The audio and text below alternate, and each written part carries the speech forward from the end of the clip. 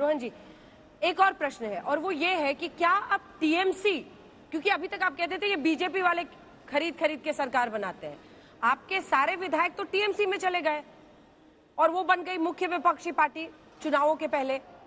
अब क्या सभी आप अपने विधायकों को बचा नहीं पाते हैं?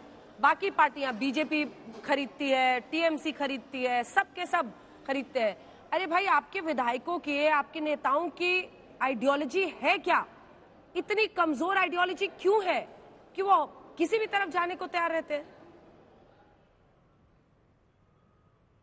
देखिए मुद्दा अंजना जी आप जो भाजपा का शासन है यहाँ पे सिर्फ़ हाँ। वन प्लस वन टू नहीं होता है कि इसके ऊपर क्या प्रेशर है, किस प्रकार से काम होता है, ये सब हम सब जानते हैं कि जो महाराष्ट्र में हुआ, पूरे देश में किस प्रकार से विपक्ष के नेता को प्रेशर में रहना पड़ता है। आप बात कर रहे हैं टीएमसी कांग्रेस पार्टी ने यही कहा कि एक बाजू टीएमसी बात करती है कि हमको विचारधारा की लड़ाई करके मज़बूत विपक्ष करना चाहिए, और टीएमसी जो है वो डिफेक्शन में ही बिलीव करती है। वो ठीक है, उनका काम है, और वही मैसेज जब वेस्ट बंगाल में हम लोग बाई इलेक्शन में जीतते हैं, जहाँ पे टीएमसी का स्ट्रांग होल्ड है, ये जनता का मैसेज है। हम तो ईमानदारी से हमारे मुद्दे जनता के साथ लेके चले, भारत जोड़ो में लेके निकले, और वही उसका मैसेज आप देखिए वेस्ट बंगाल, जहाँ पे टीएमसी का स्ट्रांग होल्ड था, हम बीस वोट से ज़्यादा से जीते। मैं महाराष्ट्र का एग्ज़ाम्पल बार बार अंजना जी इसलिए दे रहा हूँ, क्योंकि हम जानते हैं वहाँ से सियासी उठापटक जिस प्रकार से हो रही है, ये बीजेपी के लिए बहुत बड़ा अलार्म साबित होने वाला है। जो दोनों सीट पे उनका परिणाम आया, एक में ये लोग बच गए, और एक में जो बुरा हाल हुआ है, जनता तो देखती है ना। आप कितना भी साम, दाम, दंड भेंट कर ले, सरकारें खरीद ले, प्रेशर कर ले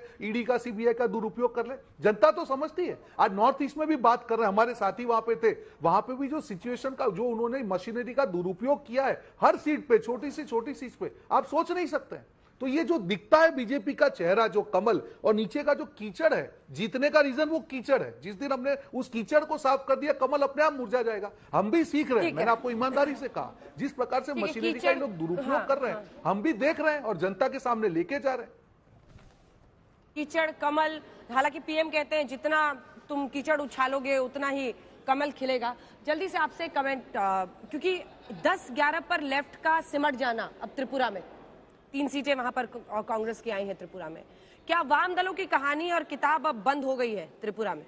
क्योंकि दूसरी बार लगातार बीजेपी अगर उनके गढ़ पर इस तरह से जीतती है। कौशिक।